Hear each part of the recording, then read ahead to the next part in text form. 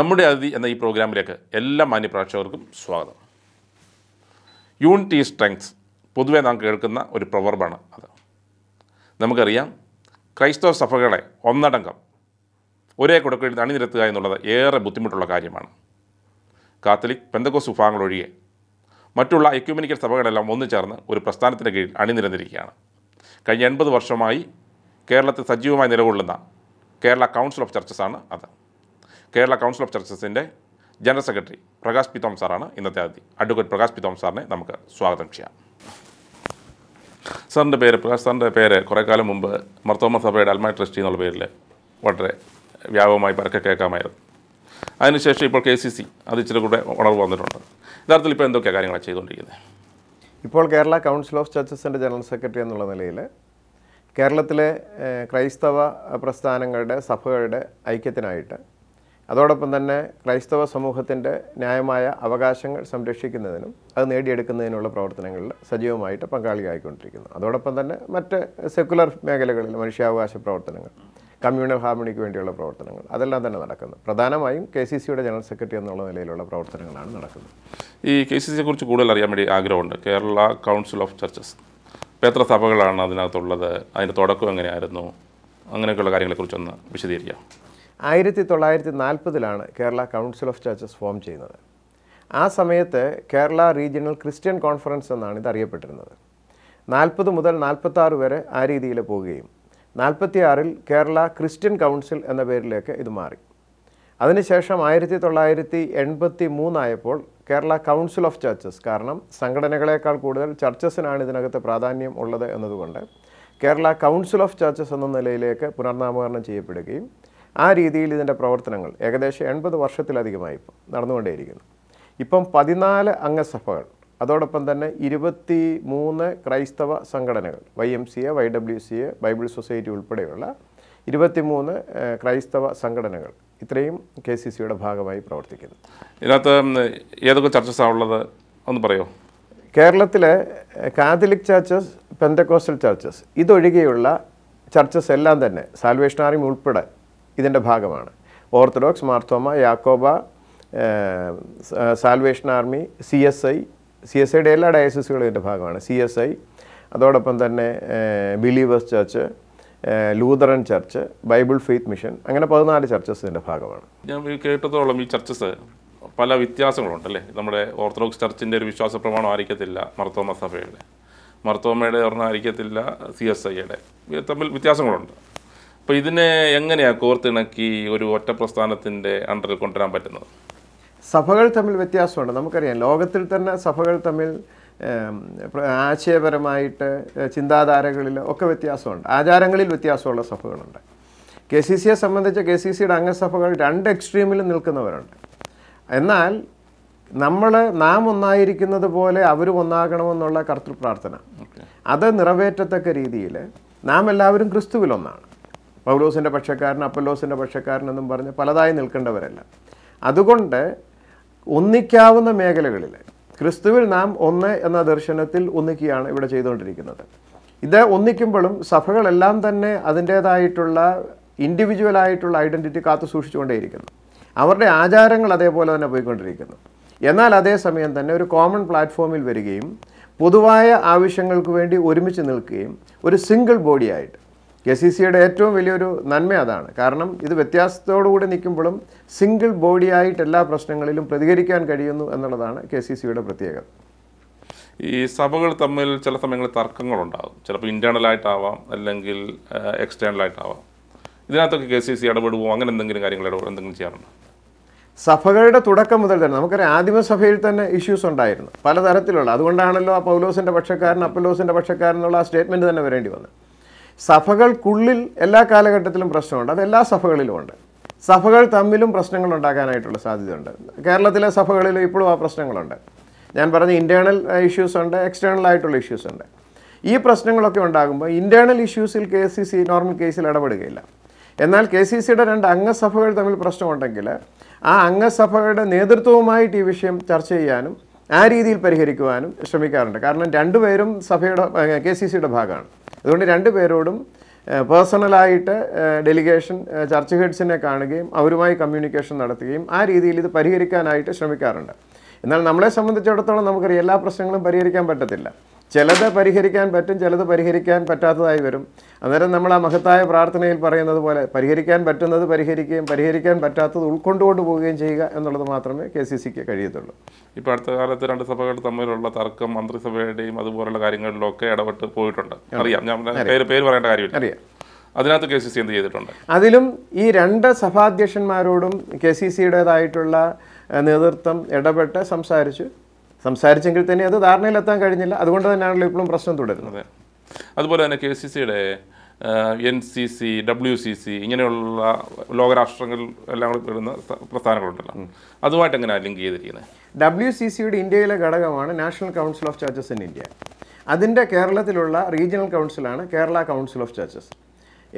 N C സിയുടെ തന്നെ ഏറ്റവും നല്ല രീതിയിൽ പ്രവർത്തിക്കുന്ന റീജിയണൽ കൗൺസിലാണ് കേരള കൗൺസിൽ ഓഫ് ചർച്ചസ്. കാരണം കെ സി സിയെ സംബന്ധിച്ചിടത്തോളം ഇപ്പോൾ അറിയാമല്ലോ എല്ലാ ദിവസവും നമുക്ക് പ്രോഗ്രാംസ് ഉണ്ട്. കേരളത്തിലെ എല്ലാ ജില്ലകളിലും പ്രോഗ്രാംസ് ഉണ്ട്. കേരളത്തിൽ കെ സി സിയുടെ അംഗസഭകളിലുള്ള അംഗസഭകളുള്ള എല്ലാ അസംബ്ലി മണ്ഡലങ്ങളിലും കെ സി സിയുടെ കമ്മിറ്റി ഇപ്പോൾ സജീവമായിട്ട് പ്രവർത്തിക്കുന്നു. സാർ വന്നതിന് ശേഷം എന്തെങ്കിലും മാറ്റങ്ങൾ ഈ പ്രസ്ഥാനത്ത് ഉണ്ടായിട്ടുണ്ടോ? ഞാൻ വന്നതിന് ശേഷമുള്ള മാറ്റമൊന്നുമല്ല. കെ സി സിയെ സംബന്ധിച്ച് കഴിഞ്ഞ എൺപത് വർഷത്തെ ചരിത്രമാണ്. ആ എൺപത് വർഷത്തിൽ കാലാകാലങ്ങളായിട്ട് ഇതിന് മാറ്റങ്ങൾ ഉണ്ടായിട്ടുണ്ട് അത് എല്ലാ പ്രസ്ഥാനങ്ങൾക്കും ഉണ്ടല്ലോ. ഒരു നദി ഒഴുകുമ്പോൾ ഓരോ ഘട്ടത്തിലും അതിന്റെ സ്പീഡിന് വ്യത്യാസം ഉണ്ടാകും അതിന്റെ വീതിക്ക് വ്യത്യാസം ഉണ്ടാകും ജലത്തിന്റെ അളവിന് വ്യത്യാസം ഉണ്ടാകും. അത് സ്വാഭാവികമായിട്ടുള്ളൊരു പരിണാമം മാത്രമാണ്. ഞാൻ ജനറൽ സെക്രട്ടറി ആയതിനു ശേഷം ഞാൻ ശ്രമിച്ചത് നമ്മൾ കൂടുതൽ ചർച്ചകളും മറ്റും നടത്തി മുറിക്കകത്ത് ഒതുങ്ങുന്നതിനേക്കാൾ സമൂഹത്തിലേക്ക് ഇറങ്ങുകയും സമൂഹത്തിന്റെ പ്രശ്നങ്ങളിൽ സജീവമായിട്ട് ഇടപെടുകയും അതോടൊപ്പം തന്നെ കെ സി സിയുടെ അടിസ്ഥാന ഘടകങ്ങൾ ഇപ്പം കെ സി സിയെ സംബന്ധിച്ച് സംസ്ഥാന തലത്തിൽ ഒരു ബോഡി പ്രവർത്തിക്കുന്നു. അതിന് താഴെ ജില്ലാ തലങ്ങളിലെ കമ്മിറ്റികളുണ്ട് അസംബ്ലി തലങ്ങളിൽ കമ്മിറ്റികളുണ്ട് പഞ്ചായത്ത് മുനിസിപ്പൽ തലങ്ങളിലെ സോൺ എന്ന് പറയുന്ന ഒരു യൂണിറ്റ്. അന്നേരം ആ രീതിയിൽ എല്ലാ പ്രാദേശിക ഘടകങ്ങളും ശക്തമാകുമ്പോൾ അതിലൂടെ കെ സി സിയുടെ ബേസ് റെഡിയാകുകയും അങ്ങനെ വരുമ്പോൾ ഏതൊരു പ്രശ്നത്തിലാണെങ്കിലും പ്രശ്നത്തിൽ ഇടപെടുന്നതിന് നമുക്ക് സൗകര്യമുണ്ട്. അതോടൊപ്പം തന്നെ എക്യുമിനിക്കൽ ദർശനം അത് മുകളിലത്തെ തട്ടിൽ കിടന്ന് പോകേണ്ടതല്ല. താഴെ തട്ടിൽ അവരുടെ പ്രാദേശിക ഇടവുകൾ സഹകരണത്തോടെ പ്രവർത്തിക്കുമ്പോൾ അവിടുത്തെ ജനങ്ങൾ സഹകരണത്തോടെ പ്രവർത്തിക്കുമ്പോൾ മാത്രമേ യഥാർത്ഥ ഐക്യമിനിസം ഉണ്ടാകത്തുള്ളൂ. ഇത് എന്റെ ഒന്നും ദർശനമല്ല. എം എം തോമസ് സാറിന്റെ കാലം മുതൽ അദ്ദേഹം പറഞ്ഞുകൊണ്ടിരിക്കുന്നതാണ്. പ്രാദേശിക തലത്തിലുള്ള എക്യുമിനിസം. അതാണ് എന്റെ പ്രധാനമായ ടാർഗറ്റ് അതുകൊണ്ട് കേരളത്തിൽ എവിടെയൊക്കെ അംഗസഭകളുണ്ടോ അവിടെയെല്ലാം തന്നെ പഞ്ചായത്ത് മുനിസിപ്പൽ തലങ്ങളിൽ കെ സി സിയുടെ സോണുകൾ. ആ ഒരു ലക്ഷ്യത്തോടാണ് ഇപ്പം പോയിക്കൊണ്ടിരിക്കുന്നത്. ഈ കഴിഞ്ഞ എൺപത് വർഷത്തിനിടയിൽ എടുത്തു പറയാൻ പറ്റുന്ന എന്തെങ്കിലും ഒരു സംഭാവന ഈ പ്രശ്നത്തിന്റെ ഭാഗത്തു നിന്ന്? കെ സി സിയെ സംബന്ധിച്ചിടത്തോളം ദളിത് ക്രൈസ്തവ പ്രശ്നം ലോക ലോകശ്രദ്ധയിലേക്ക് തന്നെ കൊണ്ടുവന്നത്. ഞാൻ കേരളത്തിന്റെ ഇന്ത്യയുടെ ഒന്നല്ല കാരണം ലോക ശ്രദ്ധയിലേക്ക് തന്നെ കൊണ്ടുവന്നത് കെ സി സിയുടെ പഠനങ്ങളാണ്. ഈ മേഖലയിൽ ആധികാരികമായ പഠനം കെ സി സി ആണ് നടത്തിയിട്ടുള്ളത്. ആയിരത്തി തൊള്ളായിരത്തി അറുപത്തി എട്ടിൽ അതോടൊപ്പം തന്നെ എഴുപതിൽ എഴുപതിലുമൊക്കെ ഇതുമായി ബന്ധപ്പെട്ട പഠനം നടത്തി കാസ്റ്റ് ഇൻ ഇന്ത്യ എന്ന് പറയുന്ന നൈന ഗോയ്സാറിന്റെ പുസ്തകം അതിറങ്ങുന്നതിന് സഹായകരമായത് കെ സി സിയുടെ ഇടപെടലാണ്. അങ്ങനെ ദളിത് ക്രൈസ്തവ പ്രശ്നം സമൂഹത്തിന്റെ ശ്രദ്ധയിലേക്ക് കൊണ്ടുവരുന്നതിന് കെ സി സി കഴിഞ്ഞിട്ടുണ്ട്. എന്റെ ഈ കാലയളവിൽ ഞാൻ ഏറ്റവും കൂടുതൽ ഫോക്കസ് ചെയ്യുന്ന ഒരു കാര്യം അതാണ്. കാരണം വിശ്വാസത്തിന്റെ പേരിൽ മാത്രം നീതി നിഷേധിക്കപ്പെട്ടവരാണ് കേരളത്തിലെ ദളിത് ക്രൈസ്തവ കേരളത്തിലല്ല ഇന്ത്യയിലെ തന്നെ ദളിത് ക്രൈസ്തവ സമൂഹം എന്ന് പറയുന്നത്.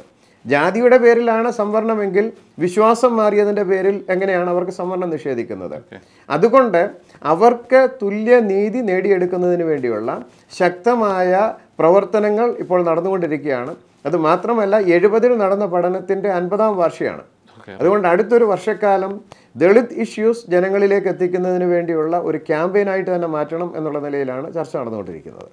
അതുപോലെ തന്നെ മറ്റൊരു വിഷയം ഡബ്ല്യു സി സിയിൽ കേരളത്തിൽ നിന്ന് എടുത്തു പറയാൻ പറ്റുന്ന എന്തെങ്കിലും ഏതെങ്കിലും വ്യക്തികളോ അങ്ങനെ എന്തെങ്കിലും നമുക്ക് ഒന്ന് സൂചിപ്പിക്കാൻ പറ്റുമോ ഡബ്ല്യു സി സി നേതൃത്വത്തിലേക്ക് കേരളത്തിൽ നിന്ന് നിരവധി വ്യക്തികൾ എം എം തോമസ് സാർ അതിന്റെ പ്രിസീഡിയത്തിന്റെ ഭാഗമായിരുന്നു.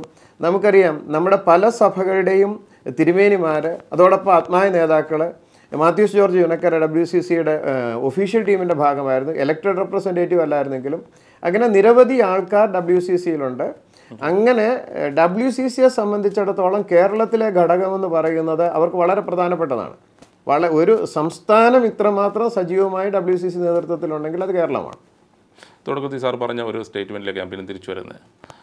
കാത്തലിക്ക് പെന്തക്കോസ്. ഈ രണ്ട് വിഭാഗങ്ങളിലെ കെ സി സിയുടെ ഭാഗമല്ല എന്ന് പറഞ്ഞല്ലോ എന്തായിരിക്കും അതിന് കാരണം? അതിനകത്തുള്ള സഭകൾ തമ്മിൽ വ്യത്യാസങ്ങളുണ്ട്.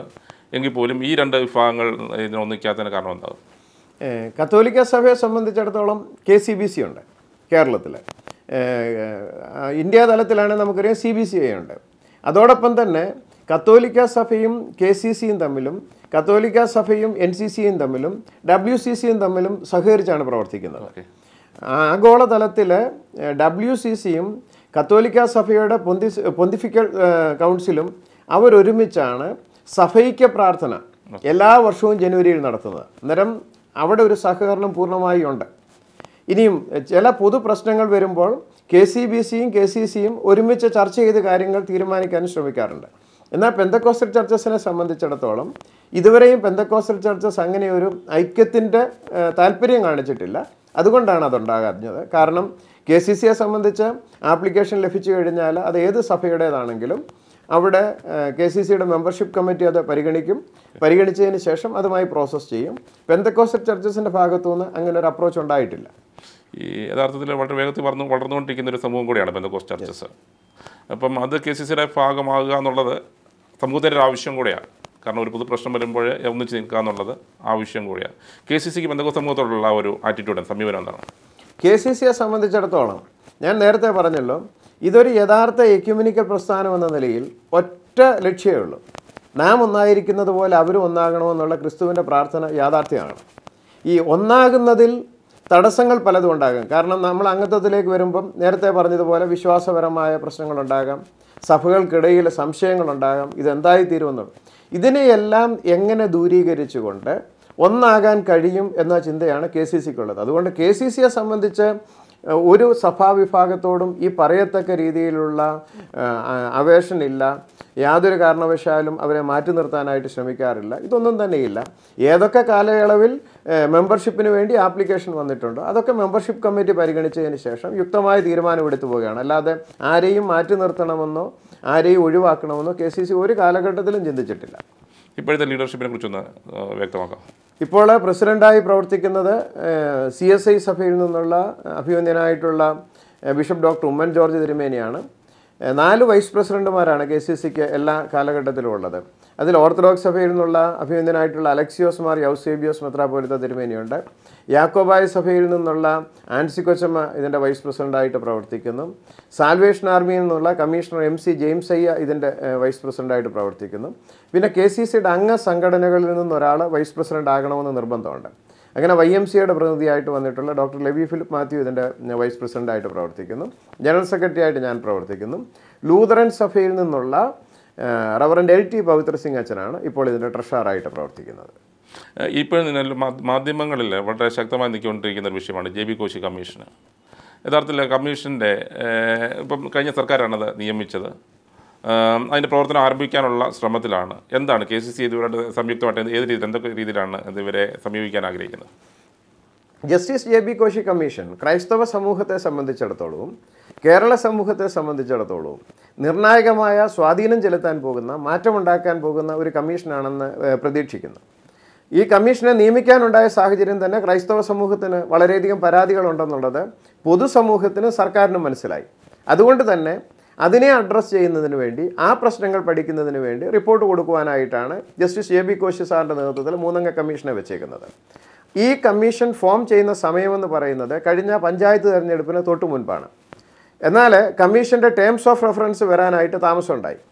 ഇതുമായി ബന്ധപ്പെട്ട് കമ്മീഷൻ വരുന്നതിന് മുൻപ് തന്നെ കേരളത്തിലെ പല സഭകളും കെ സി സി ഉൾപ്പെടെയുള്ള സംഘടനകൾ ഞങ്ങളെ നേരിട്ട് മുഖ്യമന്ത്രിക്ക് റിക്വസ്റ്റ് കൊടുത്തിട്ടുണ്ട്. അത് കഴിഞ്ഞ് പ്രസിഡന്റ് തിരുമേനി ഞാനിവിടെ പത്രസമ്മേളനം നടത്തിയിട്ടുണ്ട്. അച്ഛന്മാരുടെ നേതൃത്വത്തിൽ തിരുവനന്തപുരത്ത് പ്രകടനം നടത്തിയിട്ടുണ്ട്. ഇതൊക്കെ നടത്തിയതിന് ശേഷം ഒന്നും ഉണ്ടായാൽ അതിന് ശേഷമാണ് പഞ്ചായത്ത് ഇലക്ഷൻ വന്നപ്പോൾ പെട്ടെന്ന് ഈ കമ്മീഷനെ നിയമിച്ചത്. ഞാൻ പൂർണമായിട്ട് വിശ്വസിക്കുന്നു ക്രൈസ്തവ സമൂഹത്തിന്റെ പ്രശ്നം പഠിക്കണമെന്നുള്ള ആത്മാർത്ഥമായ ആഗ്രഹം കൊണ്ടാണ് ഈ കമ്മീഷനെ നിയമിച്ചത്. ചിലർ പറയുന്നുണ്ട് പഞ്ചായത്ത് ഇലക്ഷൻ വന്നപ്പോൾ ആ വോട്ടിനെ സ്വാധീനിക്കാനാണ്.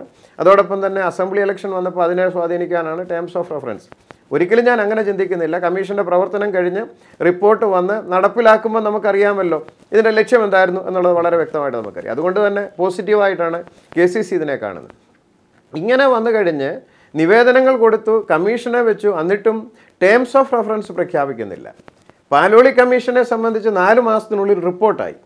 ഇത് ടേംസ് ഓഫ് റെഫറൻസ് പോലും വരാതിരുന്നപ്പോൾ ജനുവരി മാസത്തിൽ കേരള കൗൺസിൽ ഓഫ് ചർച്ചസിന്റെ നേതൃത്വത്തിൽ കാസർഗോഡ് നിന്നും തിരുവനന്തപുരത്തേക്ക് ക്രൈസ്തവ അവകാശ സംരക്ഷണ യാത അങ്ങനെ ഒരു യാത്ര നടത്തേണ്ടി വന്നു. കെ സി സിയുടെ ചരിത്രത്തിൽ തന്നെ ആദ്യമായിട്ടാണ്. നമുക്കറിയാം ഈ ക്രൈസ്തവ സമൂഹം അങ്ങനെ തെരുവിലേക്ക് ഇറങ്ങുന്ന ഒരു രീതിയില്ല. ഗതികേട് കൊണ്ട് അങ്ങനെ ഇറങ്ങേണ്ടി വന്നു. രണ്ട് ആവശ്യങ്ങളാണ് ഇതിൽ ഉന്നയിച്ചിരുന്നത്. ദളിത് ക്രൈസ്തവരുമായി ബന്ധപ്പെട്ട് കഴിഞ്ഞ പിണറായി സർക്കാരിന്റെ പ്രകടന പത്രികയിൽ പറഞ്ഞിരുന്ന കാര്യങ്ങളുണ്ട്. നാനൂറ്റി പതിനെട്ട് നാനൂറ്റി പത്തൊൻപത് നാനൂറ്റി ഇരുപത് പ്രകടന പത്രികയിലെ ഈ മൂന്ന് വകുപ്പുകളിലായിട്ട് മൂന്ന് പ്രധാന കാര്യങ്ങൾ പറഞ്ഞിരുന്നു. ഇത് മൂന്നും അന്ന് വരെ നടപ്പിലാക്കിയിരുന്നില്ല.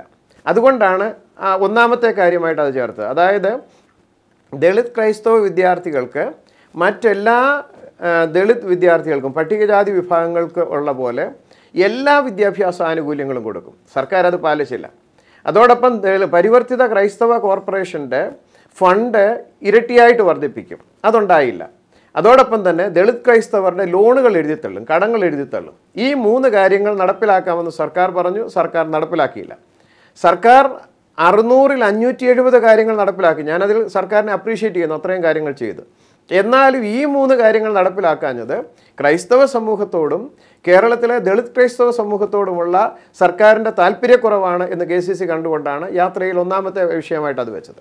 അതോടൊപ്പം തന്നെ ന്യൂനപക്ഷ അവകാശങ്ങളിൽ ക്രൈസ്തവ സമൂഹത്തിന് ലഭിക്കേണ്ടവ. കെ സി സി ഒരിക്കലും ഈ ന്യൂനപക്ഷ അവകാശമെന്നും പറഞ്ഞ് കടുംപിടി കൂട്ടുന്നില്ല. കാരണം ഭാരതമെന്ന് പറയുന്ന മഹത്തരമായ നിരവധി ജാതികളും മതങ്ങളും ഒക്കെയുള്ള ഈ സംസ്കാരത്തിൽ ന്യൂനപക്ഷ അവകാശമെന്നും പറഞ്ഞ് കടുംപിടി കൂട്ടാൻ കെ സി സി തയ്യാറല്ല. നമുക്ക് ഈക്വൽ റൈറ്റ് ഇന്ത്യൻ സിറ്റിസൺ ആണെങ്കിൽ equality before law equal protection of law അത് തരണം. എന്നാൽ ഭരണഘടനാ രൂപീകരണ സമിതിയിൽ ഡോക്ടർ അംബേദ്കർ പറഞ്ഞതുപോലെ ന്യൂനപക്ഷം ആയിരിക്കുമ്പോൾ അവർക്കൊരു അരക്ഷിതാവസ്ഥ ഉണ്ടാകാതിരിക്കാൻ അതിനാവശ്യമായ സംരക്ഷണം നൽകണം. അതിനുവേണ്ടി ഫോം ചെയ്ത ന്യൂനപക്ഷ അവകാശങ്ങൾ അത് കൊടുക്കുമ്പോഴും ന്യൂനപക്ഷം എന്ന് പറയുമ്പം അതിലെ ന്യൂനപക്ഷത്തിനെയാണ് നമ്മൾ കൂടുതൽ പ്രാധാന്യം കൊടുക്കേണ്ടത്. നമ്മൾ കുഞ്ഞുങ്ങൾക്ക് പരിഗണന കൊടുക്കുമ്പം അതിൽ ഏറ്റവും ചെറിയ കുഞ്ഞിനായിരിക്കും കൂടുതൽ കരുതൽ കൊടുക്കുന്നത്. പതിനെട്ട് വയസ്സുള്ളൊരുത്തനും രണ്ട് വയസ്സുള്ളൊരുത്തനും ഉള്ളപ്പം പതിനെട്ടുകാരന് കൂടുതൽ പരിഗണന കൊടുക്കുന്നത് ശരിയല്ല രണ്ട് വയസ്സുകാരനാണ് കൂടുതൽ കെയർ കൊടുക്കേണ്ടത്. ആ രീതിയിൽ ക്രൈസ്തവ ന്യൂനപക്ഷത്തിന് കൂടുതൽ പരിഗണന ലഭിക്കേണ്ടപ്പോൾ ആവശ്യമായ പരിഗണന പോലും ലഭിക്കുന്നില്ല. വിവിധ പദ്ധതികളിൽ നിയമനങ്ങളിലൊക്കെ തന്നെ അവഗണന ഉണ്ടാകുന്നു. അതുകൊണ്ട് ഈ രണ്ട് ആവശ്യങ്ങൾ ഉന്നയിച്ചുകൊണ്ടാണ് കാസർഗോഡ് നിന്ന് തിരുവനന്തപുരത്തേക്ക് യാത്ര നടത്തിയത്. ഏറ്റവും സന്തോഷകരമായ കാര്യമെന്ന് പറയുന്നത് കേരളത്തിലെ മുഴുവൻ സഭകൾ കത്തോലിക്ക സഭ ഉൾപ്പെടെ ഇതിന്റെ വേദികളിൽ വന്നു ഇതിന് ഐക്യദാർഢ്യം പ്രഖ്യാപിച്ചു തെരുവിലേക്ക് അവരിറങ്ങി അതുമാത്രമല്ല ഈ യാത്ര കഴിഞ്ഞപ്പോൾ ടേംസ് ഓഫ് റെഫറൻസ് പ്രഖ്യാപിക്കുന്നതിന് സർക്കാർ തയ്യാറാകുകയും ചെയ്തു. ഏതൊക്കെ അവകാശങ്ങളായിരിക്കാം പൊതുവെ നിഷേധിക്കപ്പെടുന്നത്? അല്ലെങ്കിൽ ഈ കമ്മീഷൻ വന്നു കഴിഞ്ഞാൽ ഏതൊക്കെ ആനുകൂല്യങ്ങളാവാം? ഒരു ലഭിക്കാൻ സാധ്യതയുള്ളത് നിഷേധിക്കപ്പെട്ട അവകാശങ്ങളെന്ന് പറയുമ്പോൾ ന്യൂനപക്ഷ വിഭാഗത്തിന് ലഭിക്കുന്നതിൽ ആയിരത്തി തൊള്ളായിരത്തി തൊണ്ണൂറ്റി രണ്ടിൽ ദേശീയ ന്യൂനപക്ഷ കമ്മീഷൻ നിയമത്തിൽ അതോടൊപ്പം തന്നെ ന്യൂനപക്ഷ സംരക്ഷണ നിയമങ്ങളിലൊക്കെ തന്നെ പറയുന്നത് ന്യൂനപക്ഷങ്ങൾക്ക് ജനസംഖ്യാനുപാതികമായിട്ടുള്ള പരിഗണന ലഭിക്കണം. അങ്ങനെ വരുമ്പോൾ ജനസംഖ്യാനുപാതികമായി കേരളത്തിലെ ക്രൈസ്തവ സമൂഹത്തിനും പരിഗണന ലഭിക്കണം. ഈ ജനസംഖ്യാനുപാതികം എന്ന് പറയുന്നത് തന്നെ ശരിയല്ല എന്നൊരു ചിന്ത എനിക്കുണ്ട്. കാരണം ഈ സമൂഹത്തിന്റെ ജനസംഖ്യ അനുദിനം കുറഞ്ഞുകൊണ്ടിരിക്കുകയാണ്. പ്രസന്റ് ഡേറ്റ എടുത്തു കഴിഞ്ഞാൽ ഇരുപത് പേർ മരിക്കുമ്പോൾ പതിനാല് പേരെ ജനിക്കുന്നുള്ളൂ. അതും ഒന്ന് രണ്ട് വർഷം മുൻപുള്ള ഡേറ്റയാണ് ഇപ്പോൾ അതിലും കുറഞ്ഞുകൊണ്ടിരിക്കുകയാണെന്നുള്ള സത്യം.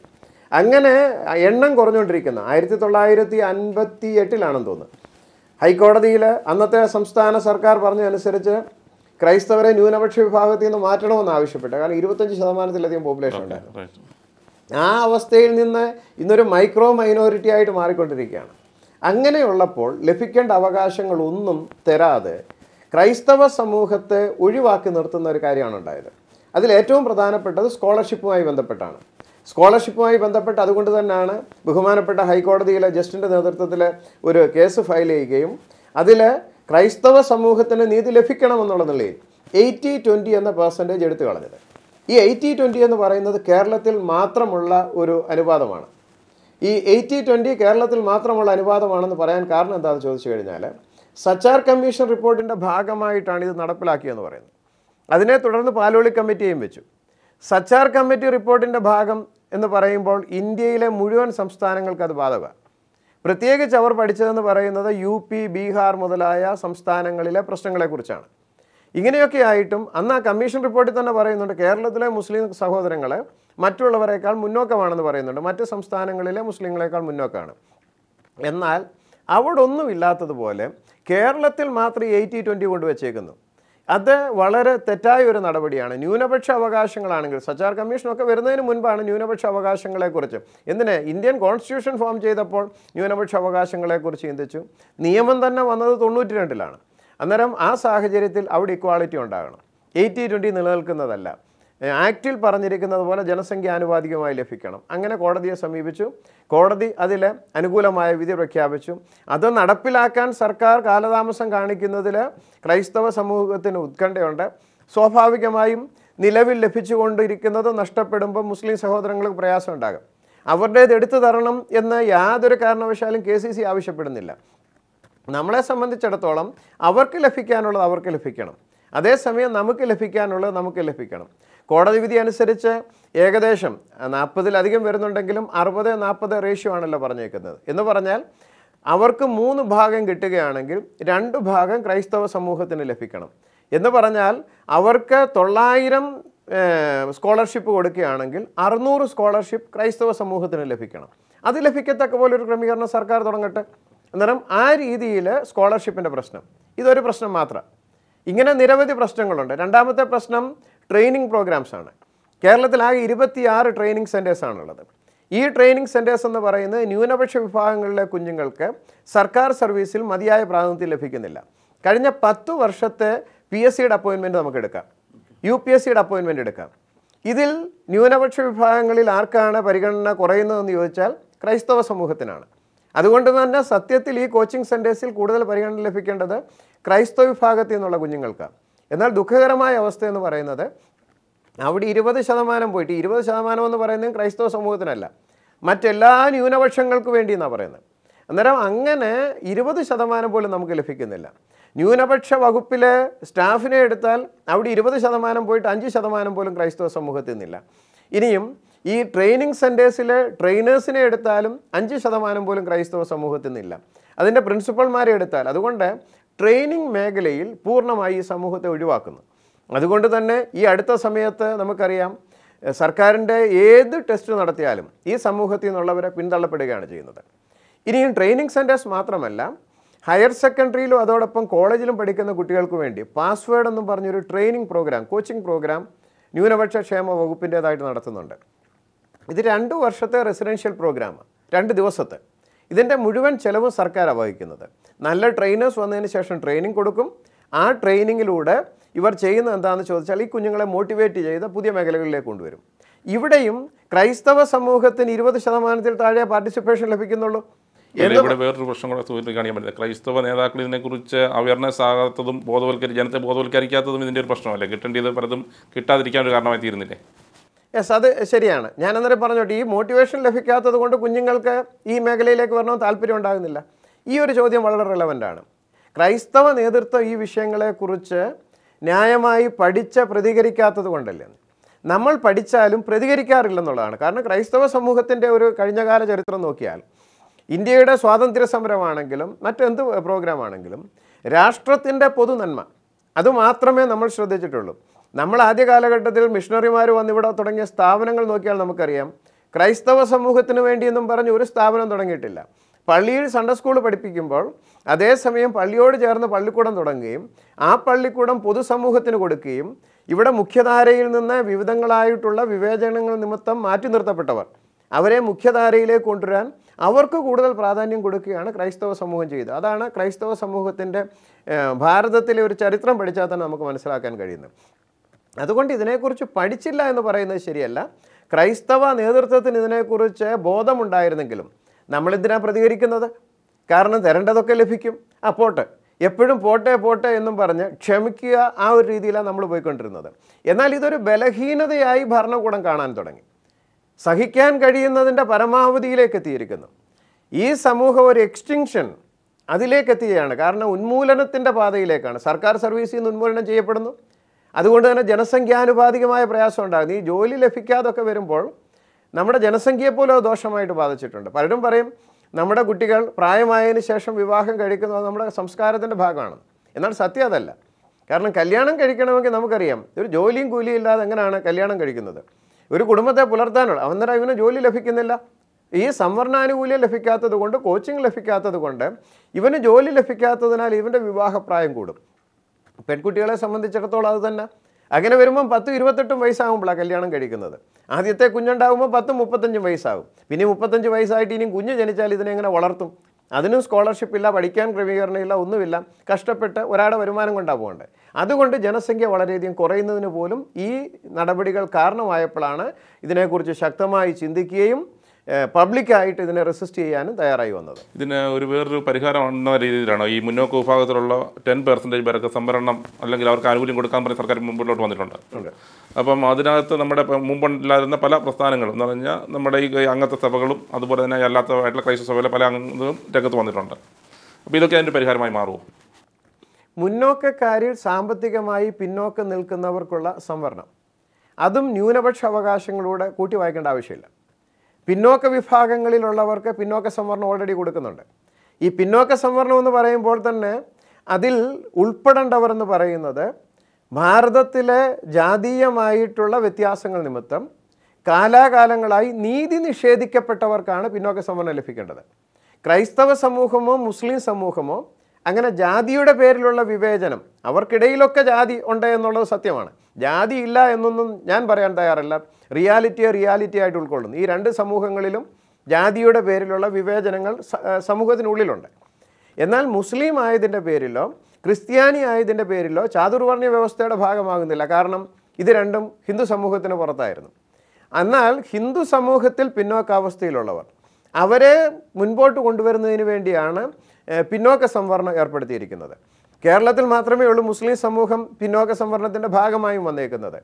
അതിൽ തന്നെ സച്ചാർ കമ്മിറ്റിയുടെ റിപ്പോർട്ടിനെ കുറിച്ചാണ് നമ്മളെല്ലാം പറയുന്നത്. സച്ചാർ കമ്മിറ്റി തന്നെ വളരെ വ്യക്തമായിട്ട് പറയുന്നുണ്ട് കേരളത്തിലെ മുസ്ലിം സഹോദരങ്ങളെ തന്നെ അഞ്ച് വിഭാഗമായിട്ട് തിരിച്ചാൽ. അതിൽ രണ്ട് വിഭാഗം മാത്രമേ പിന്നോക്കാവസ്ഥയിലുള്ളൂ.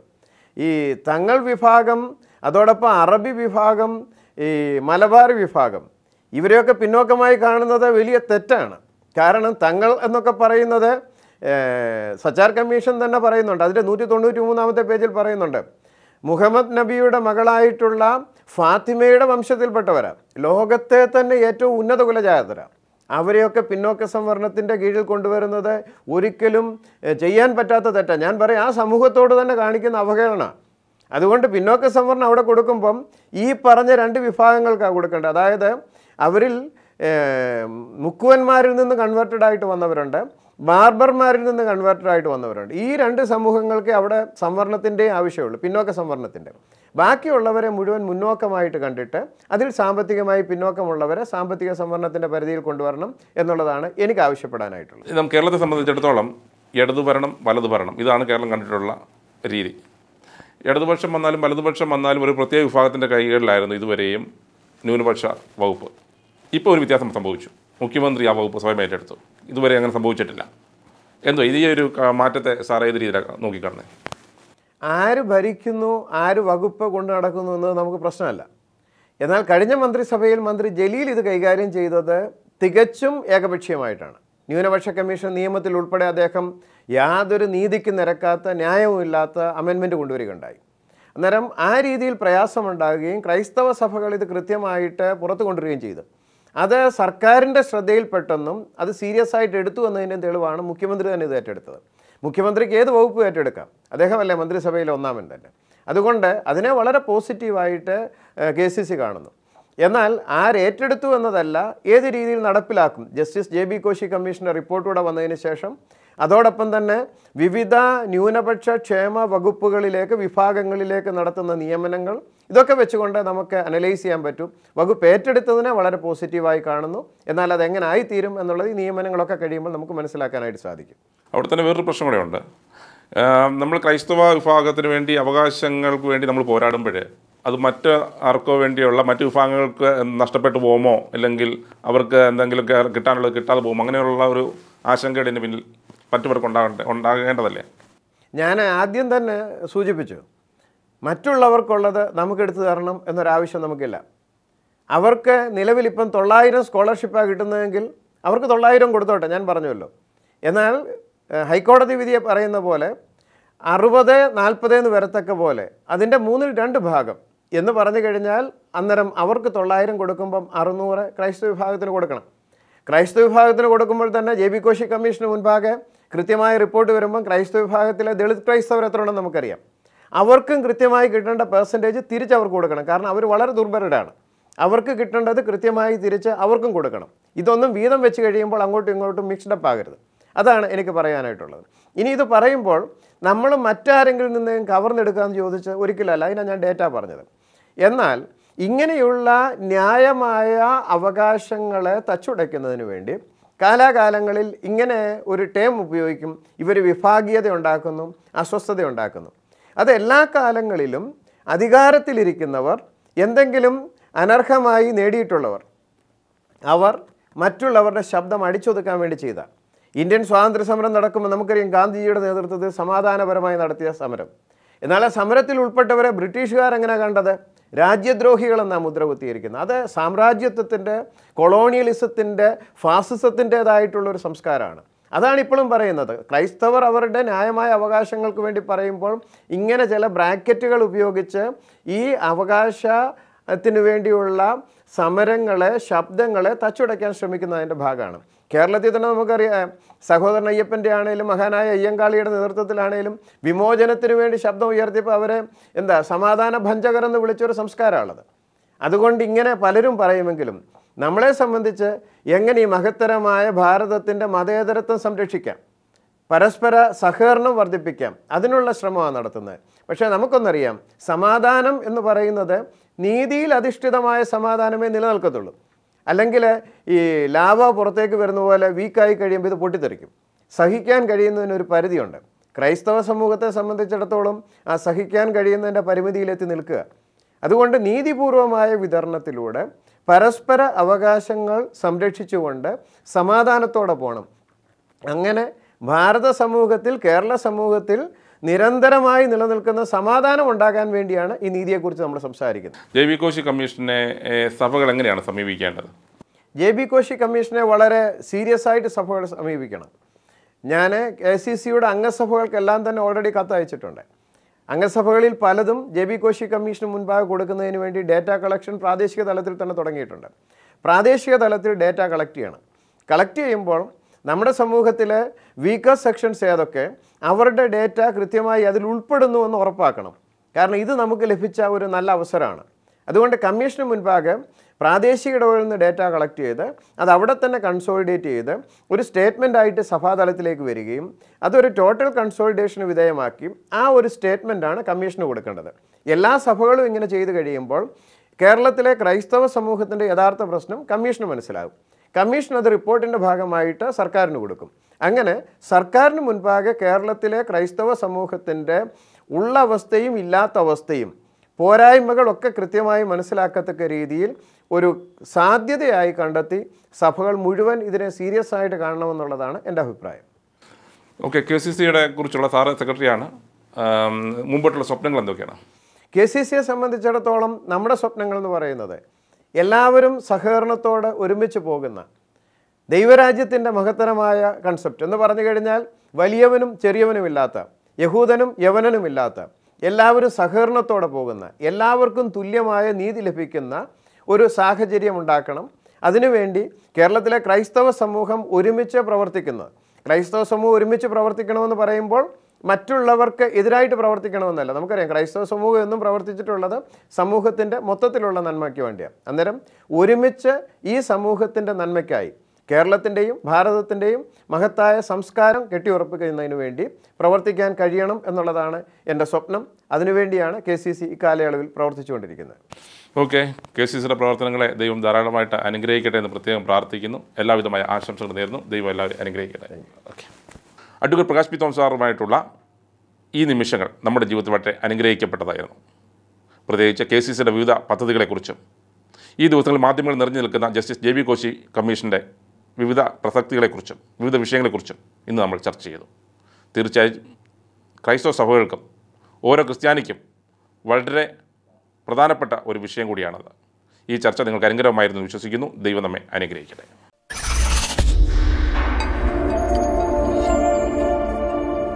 ക്രൈസ്തവ ദൃശ്യമാധ്യമ രംഗത്ത് ആത്മനിറവിന്റെ വേറിട്ട ദൃശ്യാനുഭവങ്ങളുമായി പൂർണസമയ സംപ്രേഷണത്തിലേക്ക് ക്രിസ്ത്യൻ ലൈവ്. ആനന്ദം ആശ്വാസം അനുഗ്രഹം. അവർ Facebook page Middle East Christian youth ministries subscribe Christian live W W dot Christian live dot in